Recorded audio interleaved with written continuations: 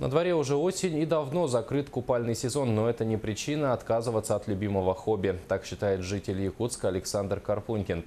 Плавать в городском водоеме ему не мешает далеко не летняя погода. С пловцом-любителем встретился наш корреспондент Юрий Осипов.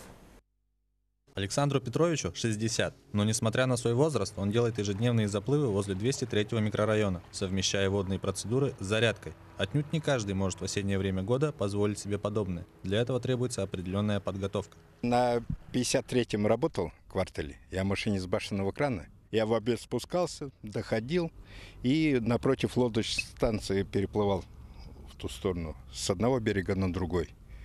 И вот я до 20 сентября так заплывы делал.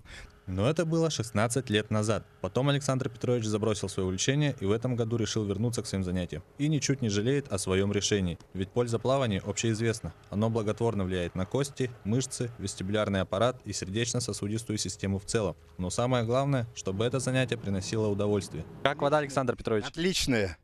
Потому что сейчас бабье лето, она вот еще, эта температура стоит хорошая. И вообще отлично.